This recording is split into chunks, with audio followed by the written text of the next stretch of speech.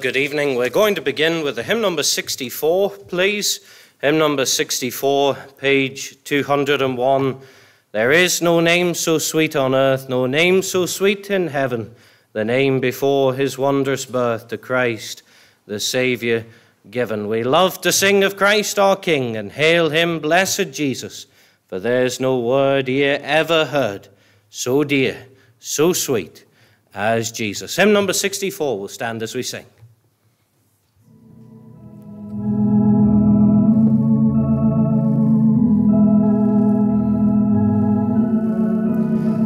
Let's stand together.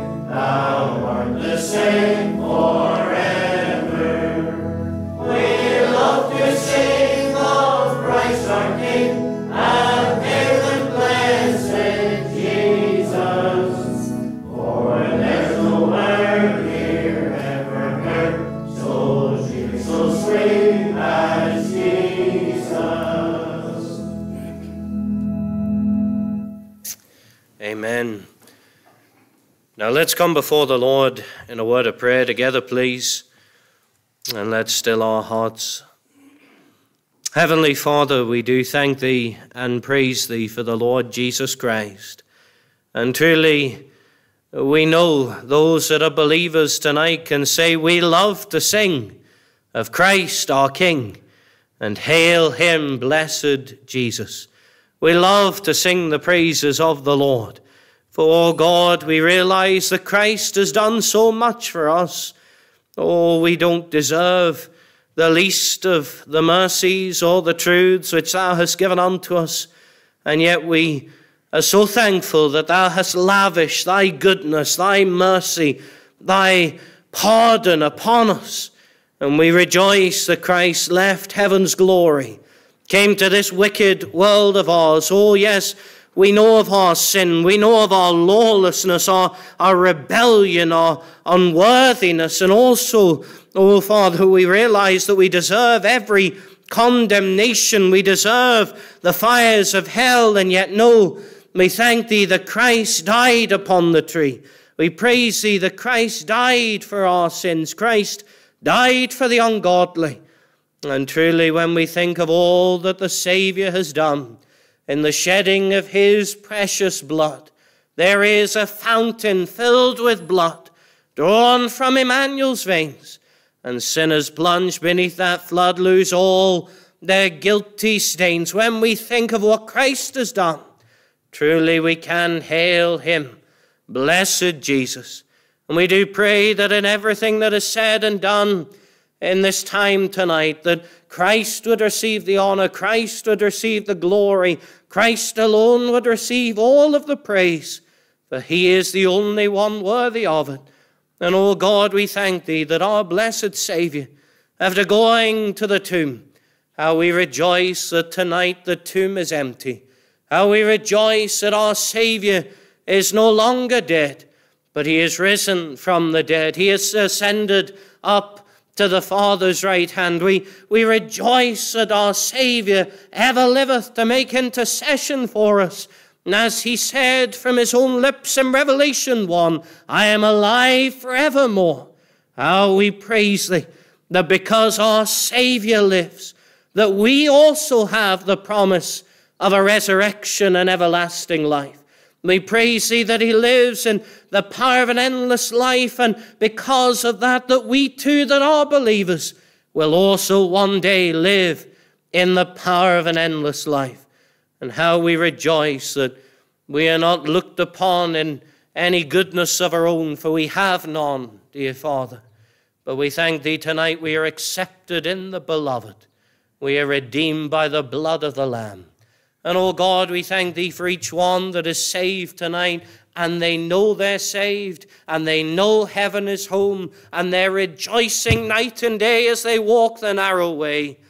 But, oh Father, we're conscious that there will be those tonight that hear thy word and they still don't have that certainty of redemption in their hearts and they need a Savior. They need Christ. They need redemption. Oh, Father, challenge their hearts to their need of Thee. And we ask that they would taste and see that the Lord is good. But, oh, Father, we thank Thee for the gospel bus meeting that has now gone into eternity. We thank Thee for all of the boys and girls that heard Thy truth already this evening. Save souls among the children. We know that our Saviour had a heart for boys and girls. Suffer the little children to come unto me, he said. And we pray that thou bless the young people, save them at an early and a, a tender age, and make them trophies of grace, and enable them to go on mightily for thee, to grow into great men and women of God. But, oh Father, bless us now. Bless thy servant that will minister to us. Fill him and thy people with thy Holy Spirit we ask that this will be a wonderful, a blessed, a, a, a privileged time. As we say, we were not just here gathering with one another, but here tonight we met with God. Oh, Father, meet with us. Send thy Spirit to meet with us, we pray. For we ask these things in Jesus' name. Amen. Hymn number 65, please. Hymn number 65, page 202 fairest of all the earth beside, chiefest of all unto thy bride, fullness divine in thee I see, wonderful man of Calvary. Hymn number 65, standing as we sing.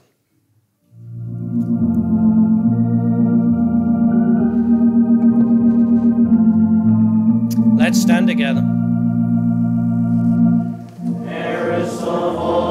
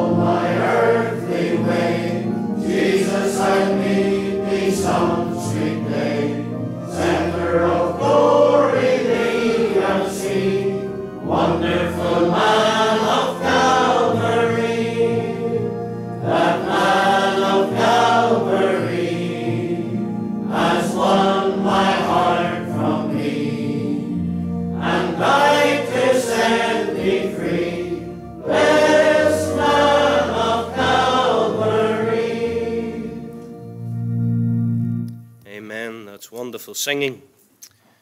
Now, once again, it is our privilege to welcome Dr. Douglas in our midst tonight, and I know that our souls have been truly blessed Sunday evening, Monday evening, and we do look forward to what the Lord has to say to our souls tonight, even through his servant. You're very welcome.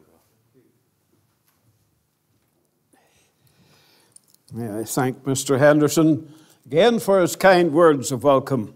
It's a joy to be present with you in Moneyslane, to have the opportunity of bringing the word of the Lord. As most of you will know, we intend to concentrate these nights on the early chapters in the book of Judges. I don't know if you've taken occasion in the past uh, to scan these pages or even studied them, I believe that we have the Holy Spirit of God as our companion to take us through the studies. And therefore, we value the seasons of prayer. And I have indicated to the friends here, I intend to be present every night for the prayer meeting beforehand because I believe in prayer. And also, I, I really rely on the prayers of God's people as we seek to bring the message. I, I do not advocate prayer simply because I'm a minister and it is expected of me to do so. But I urge the saints of God always to seek God's face earnestly in prayer because I rely on the prayer support of the people of God. God answers prayer. We're encouraged by that. And I'm glad to see you this evening. We have our subject in Judges chapter 2. Not quite sure whether we will uh, continue the subject again tomorrow night. Really, that matters in the Lord's hands. But ahead of us, I intend to look at the presence and the operation of the Holy Spirit in the book of Judges.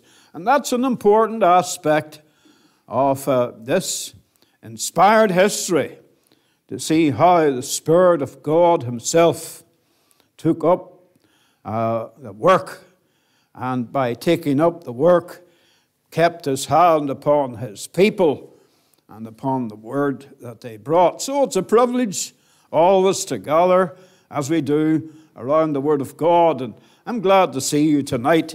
If you have other friends who might be interested, do extend a word of welcome to them. Tomorrow night, while I've said I'm, God willing, going to be at the prayer meeting every night, that applies to tomorrow night as well, but there's an element of uncertainty about tomorrow night for Lisburn City closes down. They have what they call a fun run. It wouldn't be much fun for some of us if we tried that run. And we would quickly find out after a yard or two we're not very fit. But for better or for worse, Fun Run is on. Roads, roads are closing down. So we're going to have to invent, as best we can, a, a new route to get here. And then we will see just where these closed road signs appear. And already I can see this, the beginning of this work and have been surprised. Oh, did they put a, a sign of closure there? I didn't expect it there. But uh, so much for the night to come. We're in the Lord's hands. And I'm assured eventually we'll get here. But um, it's my intention to be here just to see Him on time for prayer tomorrow night. I'm just uh, making that proviso in case I don't manage tomorrow night, and some of you will smile at me and you'll remind me and say, You didn't make it tonight. Well, that, that's the explanation. I'm away with the runners. But of course, I'd rather be in the heavenly race. And then the crown is one that lasts. You see, people who run and obtain a crown in situations where that is the uh, reward for running. Some cases it is. I'm afraid the little crown of glory soon vanishes away. And we have watched uh, pictures of people rejoicing when they won this great trophy or that great trophy, and they're trying with all their might to enjoy it. But trying in vain because there's no real joy in the world. And the joy of the Christian is the joy that matters a joy in the Lord and in His Word. So we have that joy, and we pray the Lord will increase the joy and abide with us as we study God's holy word. Thought then to read with you, and you may like to join me. And by the way, if I make a reference to somewhere in Scripture, uh, you're not under compulsion to turn up the page and look at the reference. I'll be reading the reference in any case, but some of us, some of us prefer to have the reference for personal uh, study and by getting that reference uh, to our attention, uh, we can then study the subject at length. Judges chapter 2. Maybe you put a marker in the place for easy reference. For primarily this week, we have thought to arrange this series of meetings with a view to studying the Scriptures, to getting into the Word of God to get to know the mind of God, even as we reflect on His Word. Here we have verse 1 an opportunity to meet with one who's called the angel of the Lord. And I have asked the question who is the angel of the Lord? We shall see. The verse says, And an angel of the Lord came up from Gilgal uh, to Bochim and said, I made you to go up out of Egypt and have brought you unto the land which I swear unto your fathers. And I said, I will never break my covenant with you. And ye shall make no league with the inhabitants of this land. Ye shall throw down their altars. But ye have not obeyed my voice. Why have you done this? Well, the equivalent question is, What have you done? We can take, take both examples when we think about searching our own hearts. What have we done? That's the way it is here. Why have you done this? Wherefore I also said, I will not drive them out from before you, but they shall be as thorns in your sides, and their gods shall be a snare unto you. And it came to pass when the angel of the Lord spake these words unto all the children of Israel that the people lifted up their voice and wept. And they called the name of that place Bochim. And that Hebrew name means weeping. Thus, they uh, have this kind of memorial for that unforgettable meeting with God that day. The weeping. The word is in the plural to signify, oh, there's a multitude of tears. To signify that all of the people, one after the other, great waves of emotion swept over the entire gathering. So it is useful to point out that the expression here is in the plural number to show that it's not just one or two who are affected. But we can see if we were standing there where the elders of the congregation stood back then, we would just see that vast crowd belonging to the family of Jacob, the children of Israel, swept up with emotion, their hearts stirred, overwhelmed in an instant with the word the Lord brought to them. Sometimes the Lord fills our hearts with great joy, and the word of God brings us uh, immense joy in our hearts, jubilation, in fact. We have a hallelujah within, but there are also times of heart searching. And the Word of God also ministers to us in that way as well. It's interesting to see that. There it is. They called the name of that place, verse 5. They, they could have gone on without naming the place.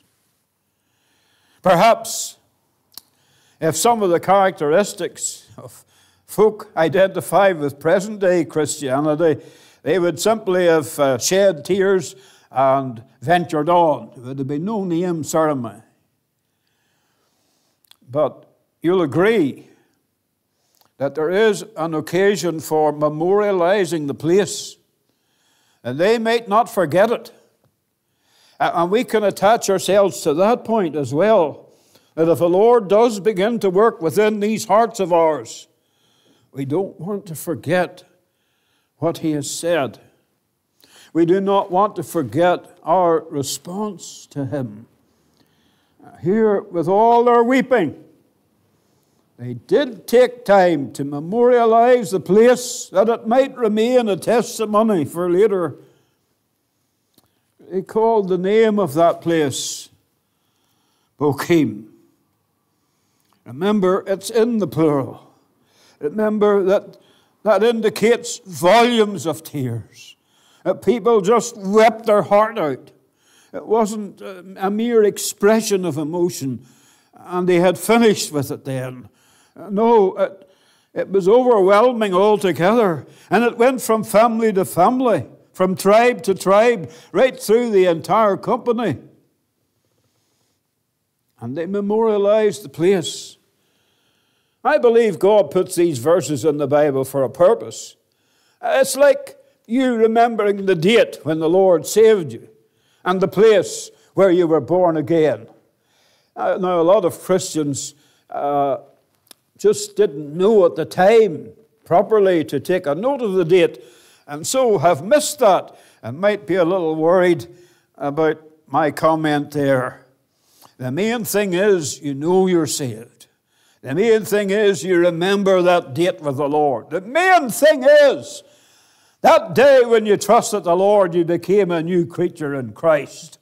And the old things passed away and all things became new. That's the important thing. But it's an additional blessing if you can say, Yes, I remember. I remember the place. I remember the date. That's just the sort of thing that we have here in verse 5. They called the name of that place as if to say, We mustn't forget that. If you have an experience with God this week, you'll not want to forget it. Memorialize it. People in earlier days, nearly call them the olden days, did keep spiritual diaries and they took note of God's gracious dealings with them. A very good idea. It's entirely scriptural. I see it paralleling with this. They called the name of that place as if to say, We'll never forget it. How could you forget it? if in that place and on that day the Lord Himself took a gracious dealing with your soul. And so, verse 5 memorializes the event in another way. When they worship the Lord there at the altar of sacrifice. They worshipped in the place of atonement. They sacrificed there unto the Lord. And when Joshua had let the people go, the children of Israel went, every man, unto his inheritance to possess the land. and the people served the Lord.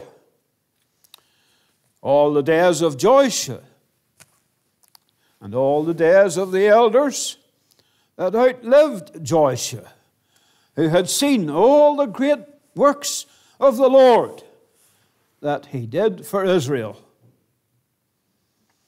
And Joshua, the son of Nun, the servant of the Lord, died being an hundred and ten years old.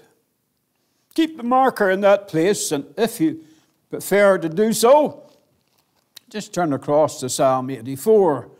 We're not going to read consecutively, but we will select a few verses from the Psalm. Psalm 84.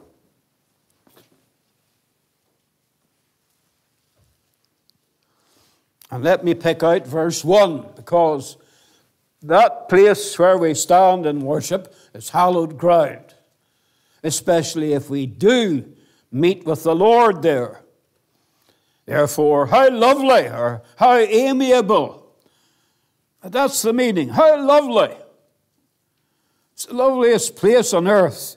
Hallowed ground, I said earlier.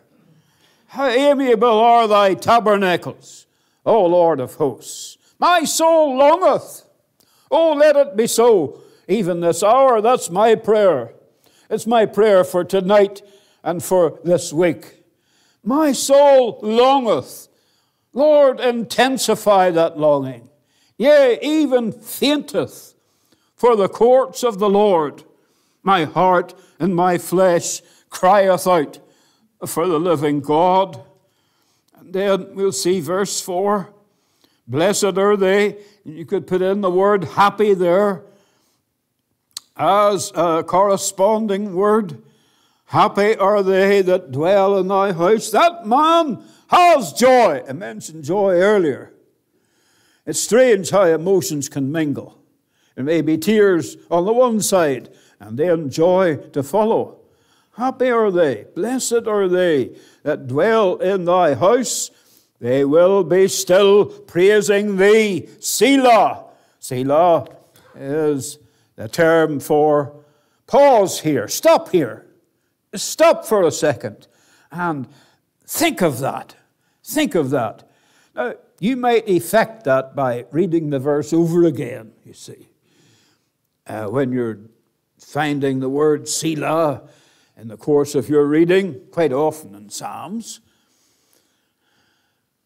but not exclusively in Psalms. Blessed are they that dwell in thy house.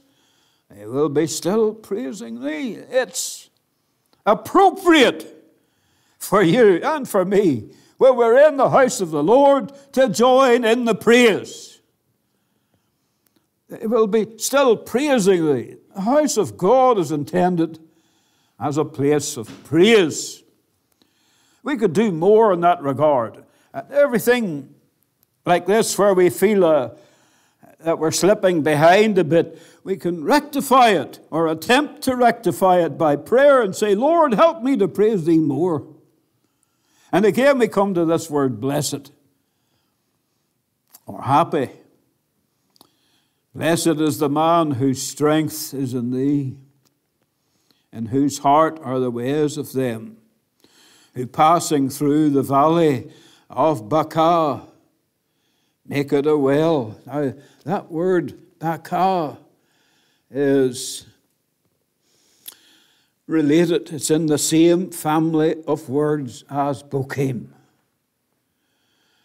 And although the margin here makes reference to the mulberry tree, uh, the reason for that is that in the natural world, this was the thinking way back in earlier days.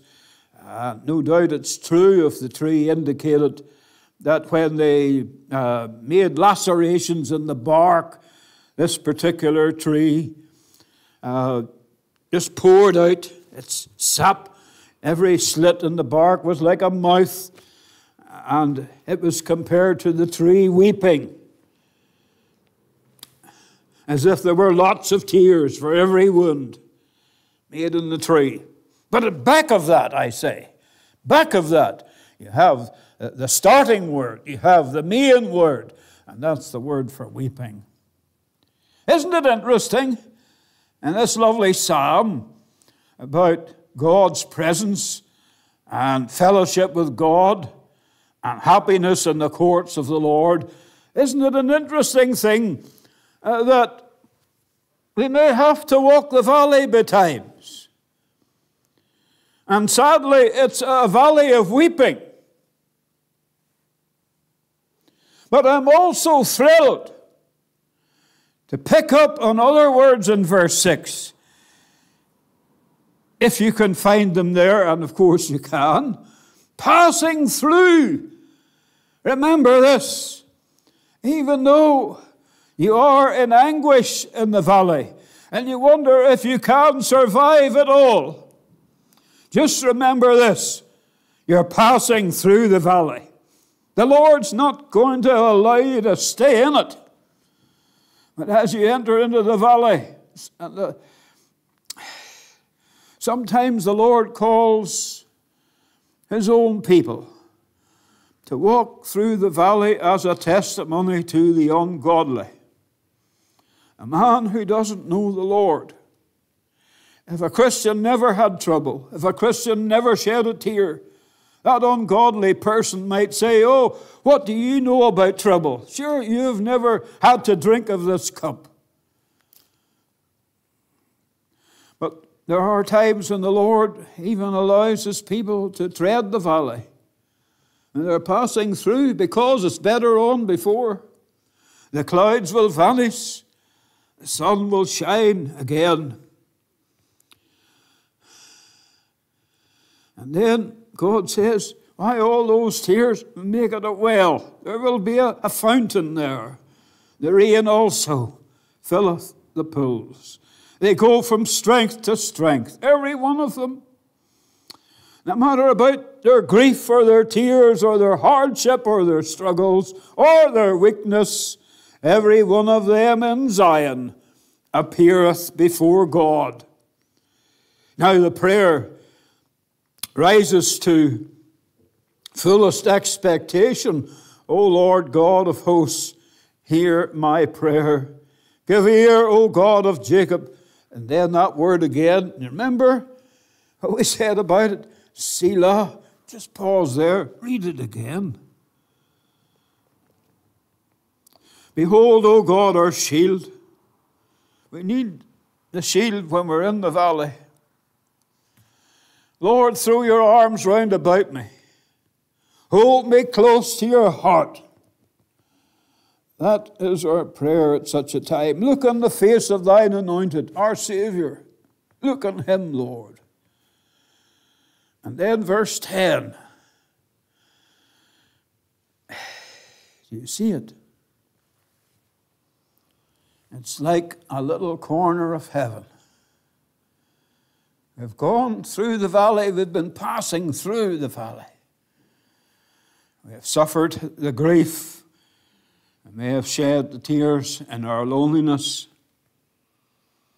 And then it says, for a day, just even one day. And the Lord's promised much more than that.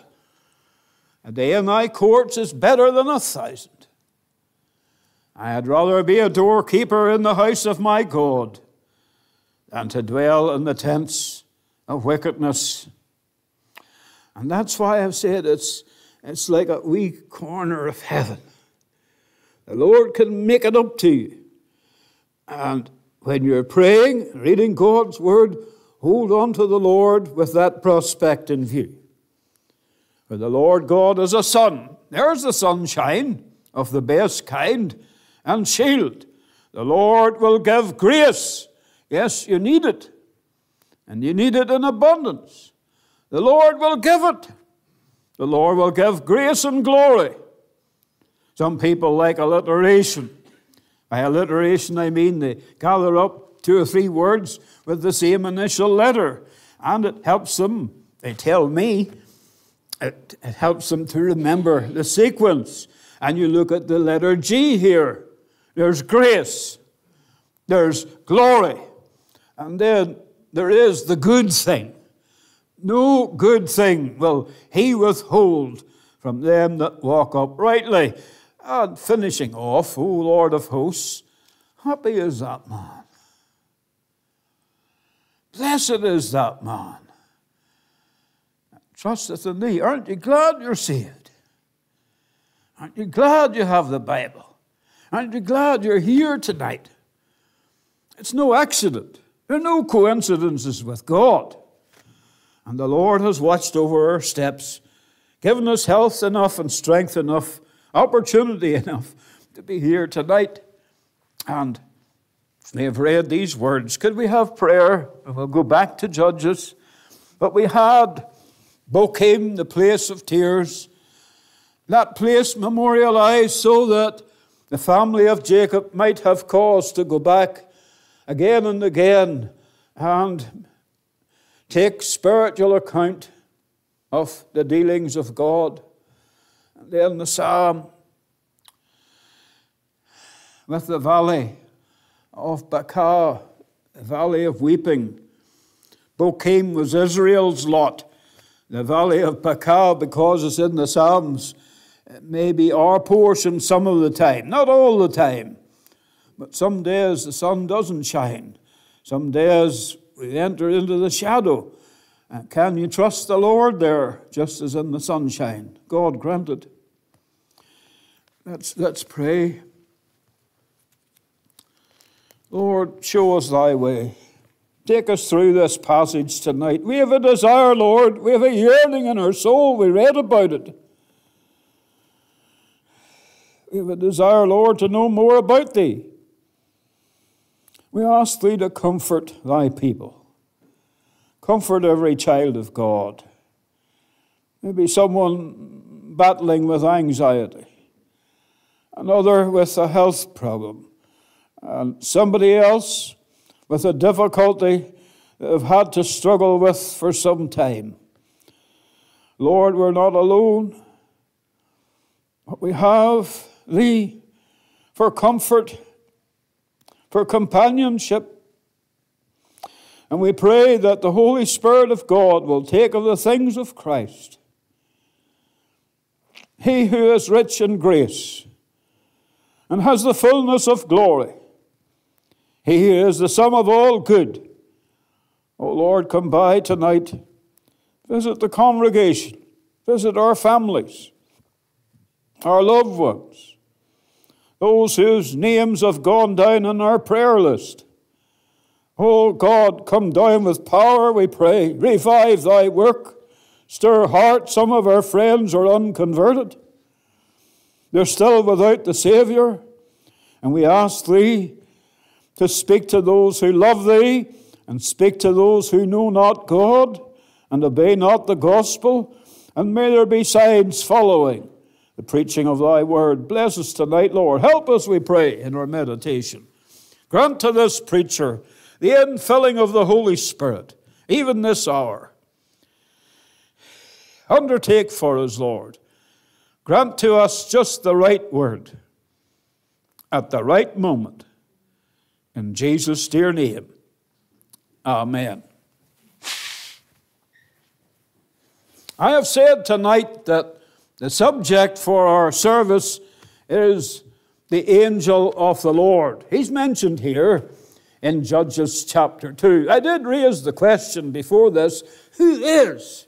Who is the angel of the Lord? And many of God's people already know the answer because they have researched this subject long, long ago. But I wouldn't be certain that everybody has done that. Nevertheless, this is a most important chapter. If we're going to look prayerfully and studiously into the early chapters of the book of Judges, we will want the guidance of the Holy Spirit. We want the promptings of God. And we will certainly want to recognize that chapter 2 in the book of Judges is a chapter that stands out with significance and importance.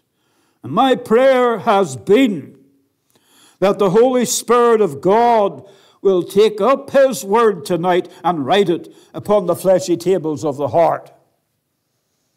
The angel of the Lord, men and women, as he's mentioned in the Old Testament in various scriptures, The angel of the Lord is the Lord Jesus Christ Himself. We have, in an example like this, an Old Testament appearing of the Lord Jesus Christ. The theological term is a Christophany. Christophany comes from the Greek. It's a combination of two Greek words meaning the appearing of Christ. An alternative is a theophany. As you've guessed, then, the appearing of God. God appearing. Appearing as a man in the Old Testament.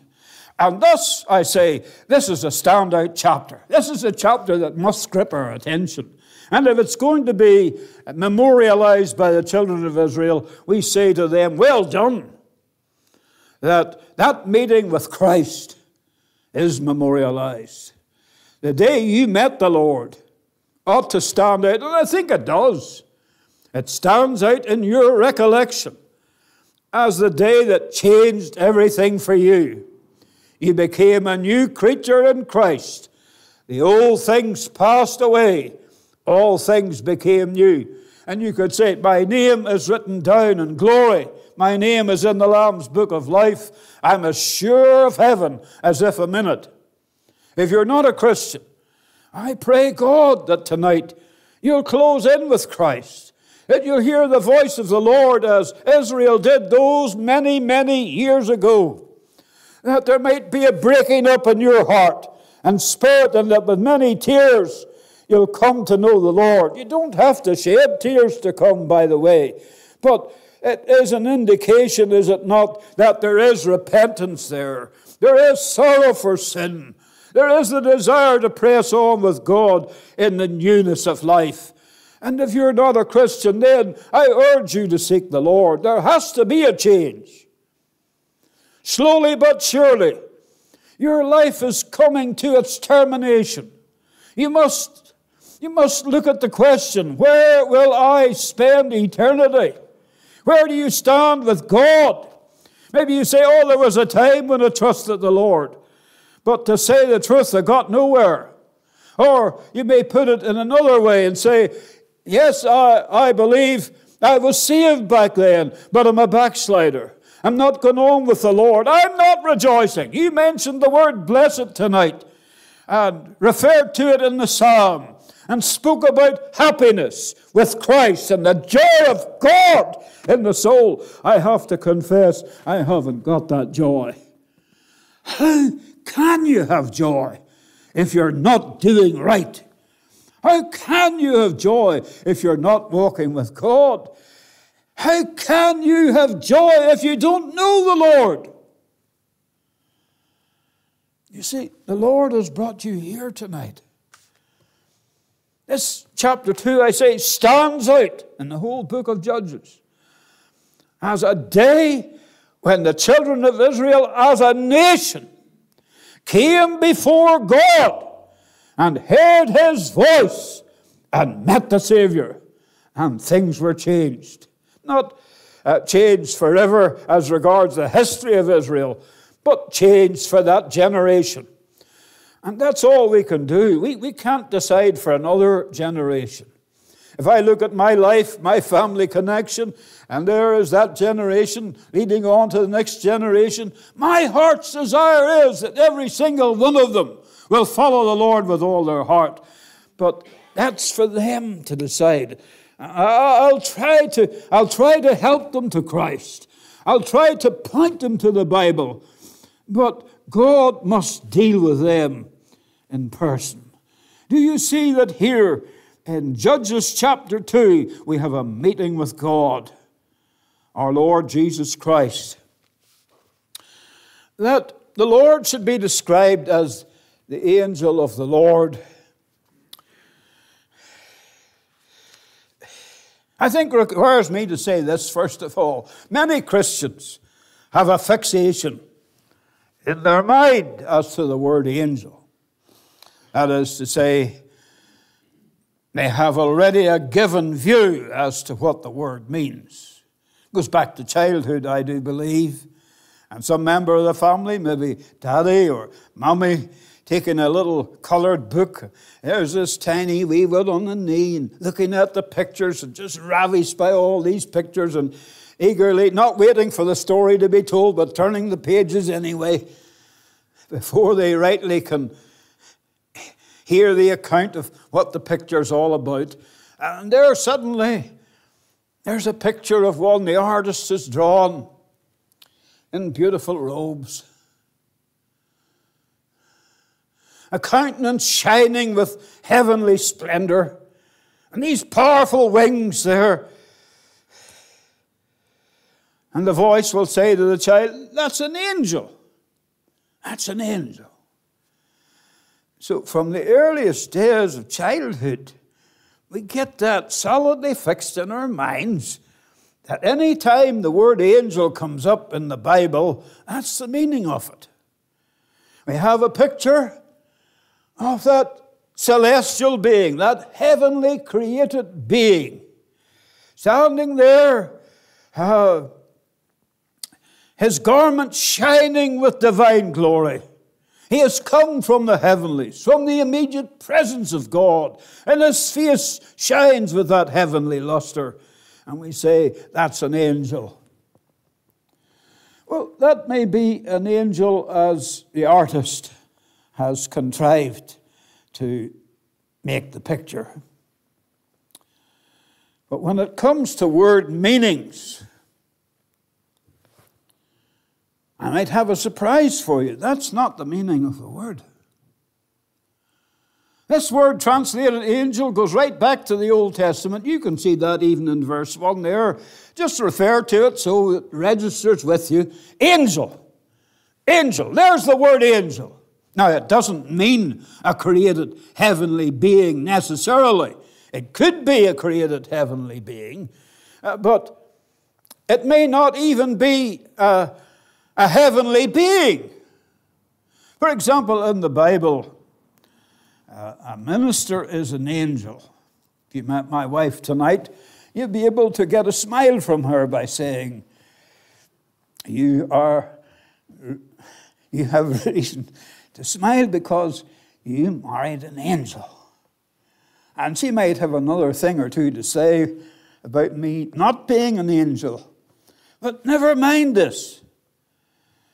You see, people are angels. Maybe we should turn it up. If you want to turn that is, if you'd like to turn it up, it'll be Haggai chapter 1. We'll come back to Judges. But I feel it's important if we're going to talk about an angel, the angel of the Lord, to have a clear picture in our minds as to what the word angel is all about. Really, I'll step ahead of you and say the word angel in the Bible, here it's translated in the Old Testament. The word angel in the Bible means a message bearer. So the actual created heavenly beings who appeared to men, for example, the angels who met the shepherds close to the time when the Savior was born, those angels, they have the word angel describing their being, not because of the luster in their countenance or the glow of their garments. It doesn't say in the gospel, Luke's gospel, that they had wings. Angels don't always have wings in the Bible. That is to say, the heavenly ones. But everyone who appeared on earth had a message. And that's the important thing to have the message. Every angel had a message. It wasn't his face, it wasn't the shining of his glory, it wasn't his lustrous garments, it wasn't his powerful wings. It was the message. And we we get the wrong end of the stick. There are angels here tonight, angels from heaven, in this meeting. The Lord doesn't permit us to see them. And He must not. Because if we saw them, we'd be so consumed with our vision of them. And look at every one of them, their faces, because they're all different. They're just like people. They're all different. And we would be overwhelmed with what we saw. We could hardly wait to get home if there's a friend there at home. And we would say, Guess what tonight? We saw the angels of God in the place. And there wouldn't even be a word about the sermon. You see, that's the message. We just forget that. That's the way we're affected. If it's something glorious and way beyond our comprehension, we get taken with that and we miss the message. But the Lord is saying here, it's the message, not the glory. It's the message. And so the Lord must conceal the angels. When the time comes for us to end our days and get to glory, if you're converted, you will get to glory. You'll see the angels for sure. But you'll be, you'll be better adjusted in that hour not to make too much of the glory and forget the message. And so the word angel means a message bearer. But is there proof of that? Real, solid, unforgettable proof of that? Yes, there is. Uh, it's in the book of Haggai and in other places too, but I think this is the best place to uh, resort to. Uh, Haggai chapter 1. In fact, this verse will have been quoted ever so many times in your prayer meeting, I'm confident to say. Haggai chapter 1, verse 13. Then spake Haggai, he's the prophet, the Lord's messenger. Now you have it. The Lord's angel. It's the same word in the Hebrew. The very same word. So if you're taking a note, it'll be very convenient for you to write in Haggai 1.13, messenger equals angel. And the other way about, the angel is the messenger. And then you have not only the messenger, but the Lord's message. Now, please remember that the person identified as an angel in the Old Testament is spoken of in the Hebrew language. And it makes sense for me to say, you go to the Hebrew language and you get the meaning of the word there. And that's the critical thing. You start there. That's the starting point. What is the meaning of the word? Uh, you'll say, I don't know any, any Hebrew at all. But you know this. You've been advised tonight, and I think in clearest terms, Hebrews 1.13, or rather Haggai 1.13. Then spake Haggai. Now, Haggai is not a created heavenly being. Haggai is an ordinary man who's a servant of God. He's the prophet. He's the Lord's messenger. That's the Lord's business. And the preacher will want to be the Lord's messenger, and that's why he is the angel. He doesn't have any wings. He doesn't have lustrous garments.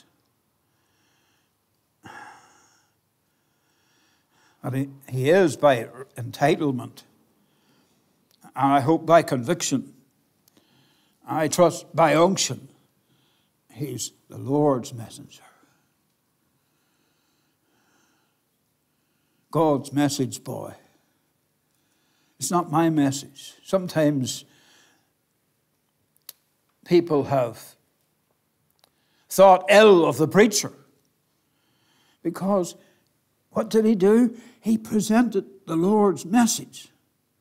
In the Bible, and even in history, the Reformation, for example, some of them lost their lives, were martyred, were put to death because they refused to give up the testimony of Christ. They had the Lord's message and they were staying with it. I tell you tonight, keep Haggai 1 and 13 in mind. In a way, it's like the double whammy in Haggai 1:13 because you have the Lord's messenger, that's the Lord's angel, and then you have the Lord's message. And likewise, message connects with the messenger. And in the sense of being an angel, Haggai is an angel. Is he sinless? No, he isn't. Don't turn this up But you may remember seven letters to the seven churches in the book of Revelation. And the first of those seven letters is to the church at Ephesus. It happens to be Revelation 2, verse 1. And it says like this To the angel of the church at Ephesus, write. Who is the angel of the church? He's the minister of the church, he's the Lord's messenger there. It doesn't mean that every church on earth has an angel in charge of it. Otherwise, how do you write a letter to an angel? These are seven letters. Who will be the postman? If there's an angel from heaven in charge of every church, who will deliver the letter? I would like to know. These letters were all delivered. There are seven letters making up uh, the number there in the opening chapters of Revelation, and perhaps you'll remember that now. But every one of them begins with, To the angel of the church, the messenger, the Lord's messenger there. And that's why some of the letters find fault with the messenger. Not with the message, but with the messenger. I have somewhat against thee, singular number. I have somewhat against thee. Because the Lord's messenger might be at fault. He doesn't want to be. But I must hurry on. It's important then to define the term, the angel. He's the Lord's messenger. He's not necessarily a created heavenly being. He might be, but he doesn't have to be to deliver the Lord's message. A sinner saved by grace can be the Lord's messenger. And if he is, he's the Lord's angel. Isn't that good to know? Well, it's very hard to drive that little thought out of your head that you picked up in childhood. I can understand that. But I'd have you know now that you've begun to search the scriptures, we must look into the original language to if there is anything that needs adjusting. Very often a tree is a tree, so we don't have problems with every word. But it may be, when it comes to the term angel, you're moving into new ground that you hadn't thought of before. And so it's time to step ahead and say, Do I have it in the Bible? Yes, I have. Where is it in the Bible? It's in Haggai chapter 1 and verse 13. The Lord's messenger in the Lord's message. And as long as you live then, if you know that verse, you've got the answer to it. And the Lord appears here in Judges chapter 2, if we can go back to it. The angel of the Lord appears. And I can see now as a sort of thought, I might have to continue this subject tomorrow night. But to me, I, I don't know about you, it's more than worthwhile to define the terms first and get the picture correctly, rather than to have some kind of confusion there, but you want to know exactly what does the Lord mean by an angel?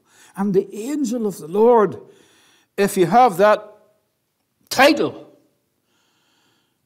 mind you, elsewhere you can read of an angel, and that may be a created heavenly being. But when you have this distinctive title, the angel of the Lord,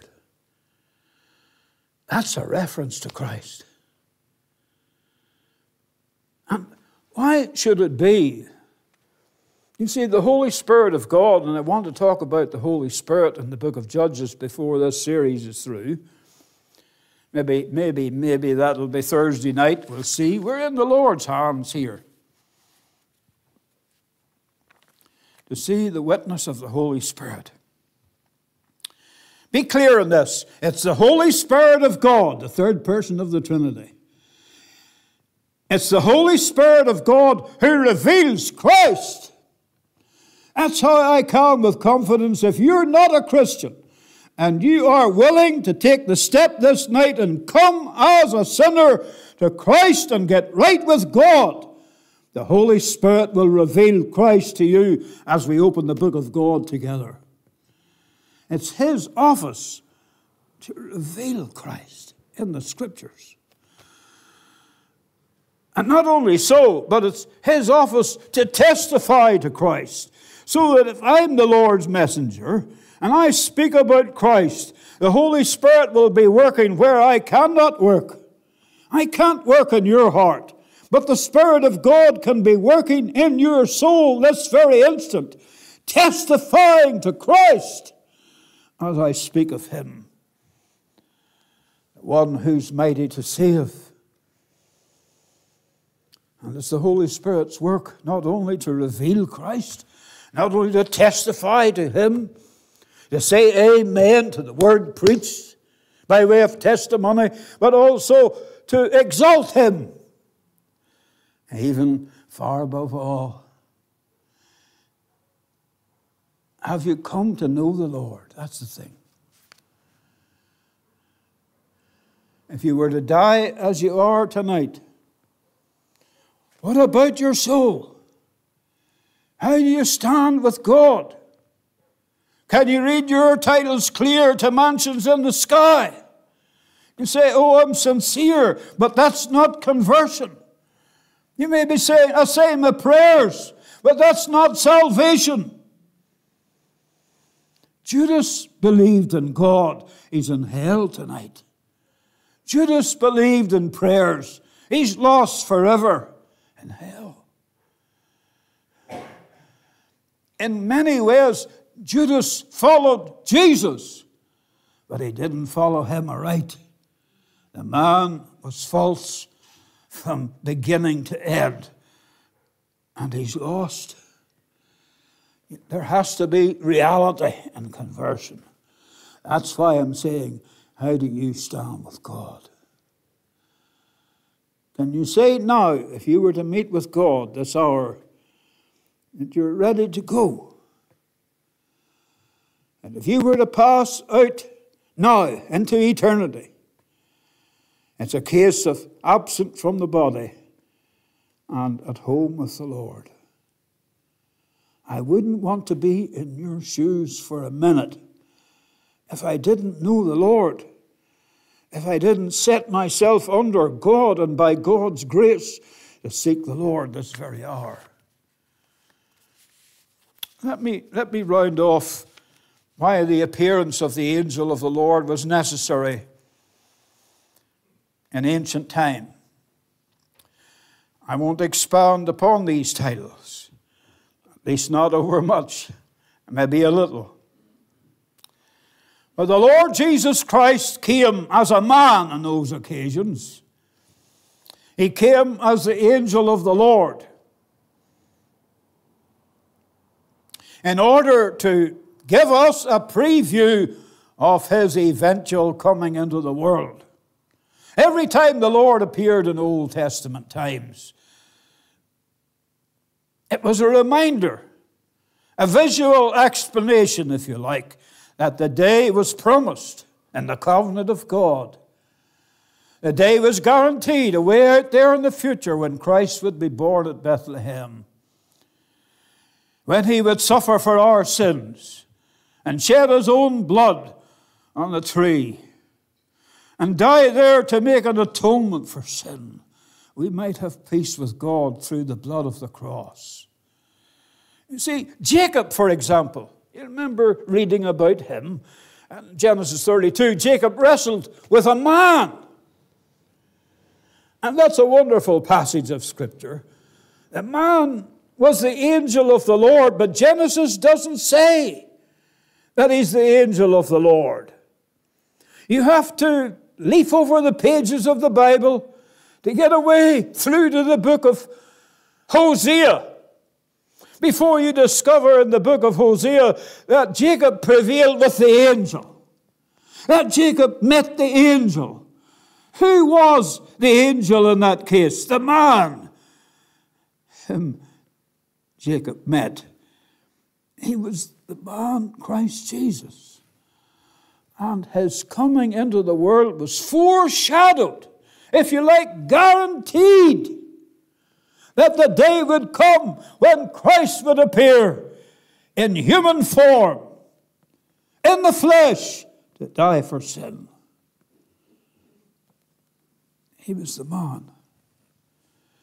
So, quite often in the Bible, the angel of the Lord came. It was a way of backing up the promise that Christ was promised to Abraham, to Isaac, to Jacob, to Abraham's seed after him.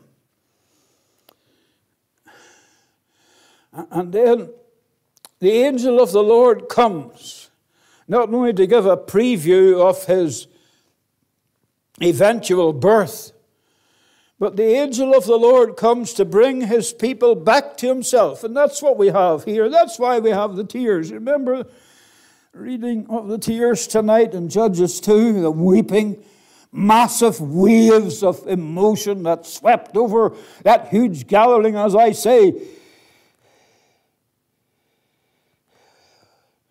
Why the tears?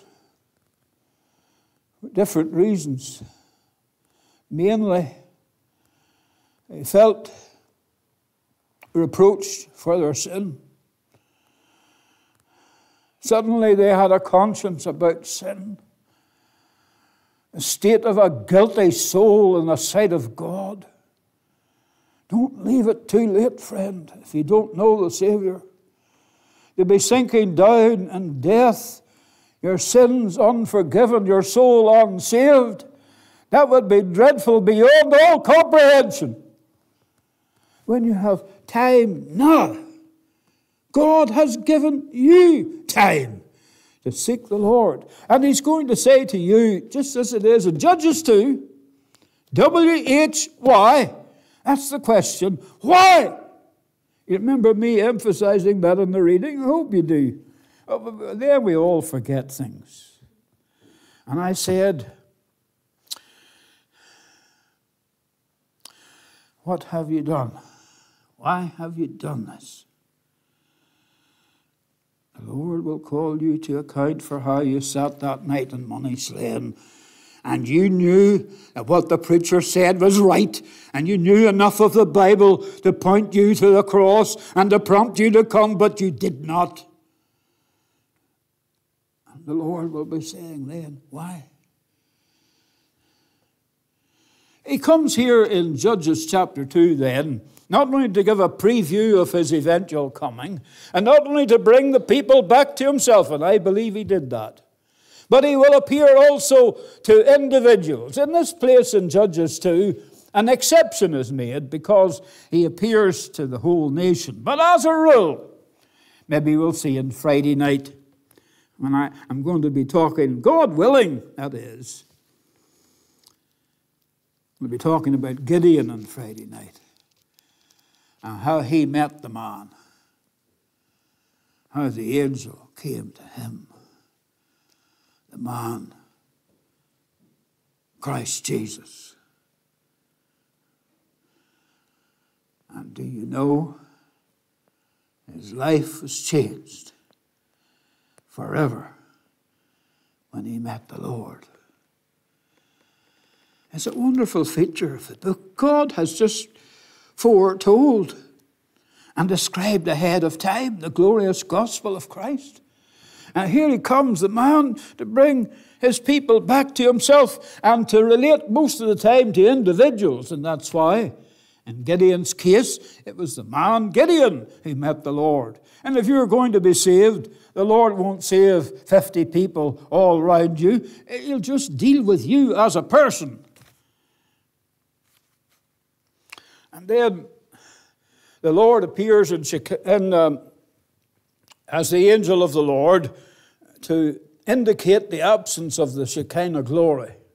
Because you know enough about the Bible to say to yourself, well, in the days of Moses, the Lord was present with Israel in the shape of the pillar of cloud and fire that we call the Shekinah glory.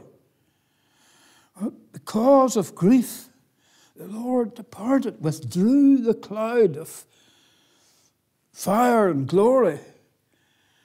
And to make up for that on occasions, the Lord would come by himself as the man of sorrows and the man of grace, the man Christ Jesus. And then I say, when the Lord came this is very significant. You've got to keep this in mind. When the Lord came by as the angel of the Lord, it helps the reader to say, things were at a very low ebb. It's like the Lord coming on a rescue mission.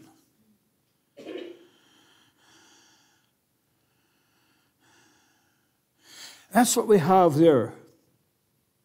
Things are at a very low ebb for that generation. It was as if uh, there's nothing, absolutely nothing to be had from God. Not a shred of hope. But suddenly, the man, the angel of the Lord came. He presented the way of life. It's the introduction, really, to the subject, but to me, it's a very necessary introduction because it, it really fills in the blank spots. And it's important if you enter into the study of any theme in the Bible to be perfectly clear, or as far as you can, in that direction, leaning toward being perfectly clear as to what the Bible actually says. So we can see tonight that our Lord Jesus Christ existed before his birth. We can see that he came into the world and he was prepared to come to individuals in the family of Jacob and the tribes of Israel, and he gave to them his precious word, and we have obtained his word. Here is the written word. Last night I mentioned the written word of God. How can you become a Christian? If you speak to Mr. Henderson tonight, or speak to me, or to any friend who knows the Lord, it will be the immediate response. See this book here? To open to you God's holy word. To show you that the basis for faith is not feeling, but the real basis for faith is what God says. We're going to talk about that tomorrow night in the context of the angel of the Lord. Has the Lord spoken to you tonight? Have you come to know the Lord? Are you going on with God? Is there somebody here tonight? Really, I'd have to say, you haven't been walking for God for a long time. Maybe somebody here tonight say, I'm not a Christian. I don't know. The Lord can see into your heart when I cannot. But I do ask you to seek the Lord while he may be found. That's what Scripture says. Isaiah 55 is about verse 7. You may seek the Lord while he may be found, and call upon him while he's near. God bless his word tonight. Mr. Henderson will come and close the service.